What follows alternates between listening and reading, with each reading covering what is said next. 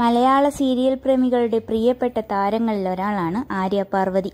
ചെമ്പട്ട് ഇളയവൾ ഗായത്രി തുടങ്ങിയ സീരിയലുകളിലാണ് ആര്യ അഭിനയിച്ചിട്ടുള്ളത്.